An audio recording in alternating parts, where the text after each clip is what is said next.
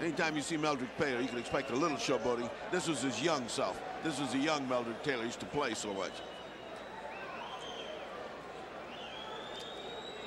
Then you'll see him in the corner not doing what he uh, did after that flurry. He's working here, not playing. Inside, ripping uppercuts, pushing Chavez back on the ropes, trying to get some good solid punches in.